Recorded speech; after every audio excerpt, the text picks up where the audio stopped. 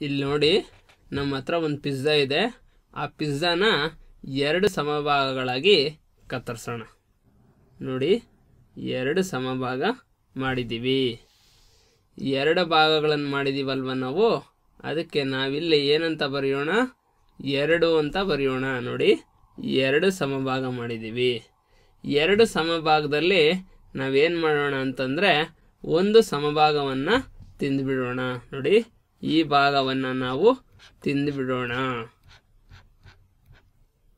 ಈಗ ನಮ್ಮ ಹತ್ರ ಎರಡು ಭಾಗದಲ್ಲಿ ನಾವು ಎಷ್ಟು ತಿಂದಿದ್ದು? ಒಂದು ಭಾಗನ ತಿಂದ್ಬಿಟ್ಟಿದ್ದೀವಿ ಅದನ್ನು ನಾವು ಎರಡನೇ ಒಂದು ಅಂತ ಸೂಚಿಸ್ತೀವಿ. ತಿಂದಿರೋ ಭಾಗವನ್ನು ಭಿನ್ನರಾಶಿಯಲ್ಲಿ ಯಾವ ಥರ ಬರೆಯೋದು? ಎರಡು ಭಾಗದಲ್ಲಿ ಒಂದು ಭಾಗವನ್ನು ನಾವು ತಿಂದಿದ್ದೀವಿ. ಈಗ ನಮ್ಮ ಹತ್ರ ಅಂಥದ್ದೇ ಇನ್ನೊಂದು ಪಿಜ್ಜಾ ಇದೆ. ಅದನ್ನ ಇಲ್ಲಿ ತರೋಣ. ನೋಡಿ, ಅಂಥದ್ದೇ ಇನ್ನೊಂದು ಪಿಜ್ಜಾ ಇದೆ. ಇನ್ನೇನು ಮಾಡೋಣ ಅಂತಂತಂದರೆ, ನಾಲ್ಕು ಸಮಭಾಗ ಮಾಡೋಣ.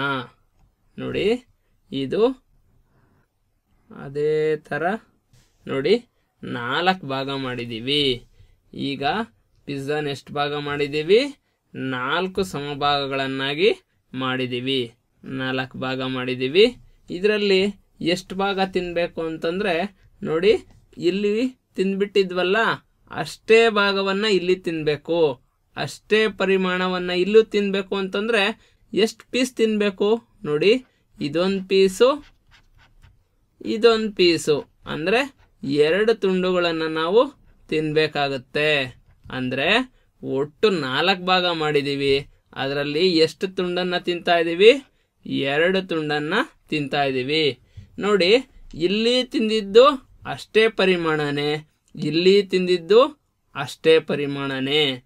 ಇವೆರಡನ್ನ ಭಿನ್ನರಾಶಿಗಳಲ್ಲಿ ಬೇರೆ ಬೇರೆ ಸಂಖ್ಯೆಗಳಲ್ಲಿ ಸೂಚಿಸಿದೀವಿ ನೋಡಿ, ಇಲ್ಲಿ ಎರಡು ಛೇದದಲ್ಲಿದೆ, ಒಂದು ಅಂಶದಲ್ಲಿದೆ. ಅದೇ ಥರ ಇಲ್ಲಿ ನಾಲ್ಕು ಛೇದದಲ್ಲಿದೆ, ಎರಡು ಅಂಶದಲ್ಲಿದೆ. ಇವೆರಡೂ ಕೂಡ ಒಂದೇ ಪರಿಮಾಣವನ್ನ ಸೂಚಿಸ್ತವೆ. ಅಂದ್ರೆ ಅವನ್ನ ಸಮ ಪರಿಮಾಣಗಳು ಅಂತ ಕರೀತಾರೆ. ಅದಕ್ಕೆ ನಾವಿದನ್ನ ಸಮಚಿಹ್ನೆಯಲ್ಲಿ ಬರೆಯೋಣ. ಸಮಚಿಹ್ನೆ. ಈಗ ನಮ್ಮ ಹತ್ರ ಇನ್ನೊಂದು ಪಿಜ್ಜಾ ಇದೆ. ಹಾಂ ಪಿಜ್ಜಾ ಬಂತು. ಇದನ್ನೇನು ಮಾಡೋದು? ಇದನ್ನೂ ಅದೇ ಥರ ಕತ್ತರಿಸೋಣ. ಎಷ್ಟು ಕತ್ತರಿಸ್ಬೇಕು ಅಂತಂದರೆ ಇದನ್ನ ಎಂಟು ಸಮಭಾಗ ಮಾಡಬೇಕು. ನೋಡಿ, ಎಂಟು ಭಾಗ ಮಾಡ್ತಾ ಇದ್ದೀವಿ ಆಲ್ಮೋಸ್ಟು ಸಮ ಇರೋ ಥರ ಮಾಡ್ಕೊಳ್ಳೋಣ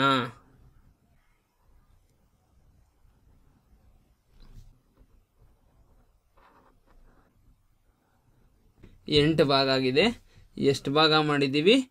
ನೋಡಿ, ಎಂಟು ಭಾಗಗಳಾಗಿ ಕತ್ತರಿಸಿದ್ದೀವಿ.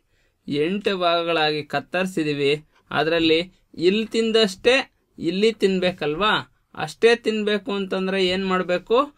ಎಷ್ಟು ತುಂಡುಗಳಿಗೆ ನಾವು ಬಣ್ಣ ಹಾಕಬೇಕು? ನೋಡಿ, ಇಲ್ಲಿ ನಾಲ್ಕು ತುಂಡುಗಳಿಗೆ ಬಣ್ಣ ಹಾಕಬೇಕು. ನೋಡಿ ನಾಲ್ಕು ತುಂಡುಗಳಿಗೆ ಬಣ್ಣ ಹಾಕಿದ್ದೀವಿ. ನೋಡಿ ಇಲ್ಲಿ ಎಂಟು ತುಂಡು ಮಾಡಿ ನಾಲ್ಕು ತುಂಡುಗಳನ್ನು ನಾವು ತಿಂದಿದ್ದೀವಿ. ಇವೆಲ್ಲ ಕೂಡ ಸಮಾನ ಪರಿಮಾಣಗಳನ್ನು ಸೂಚಿಸ್ತಾ ಇರುವಂತಹ ಭಿನ್ನರಾಶಿಗಳು. ಆದ್ದರಿಂದ ಇವೆಲ್ಲ ಸಮಾನ.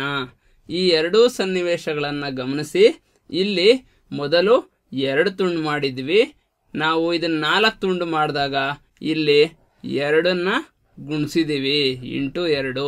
ಅದೇ ಥರ ಇಲ್ಲಿ ಎರಡರಲ್ಲಿ ಒಂದು ತುಂಡನ್ನು ತಿಂದ್ವಿ.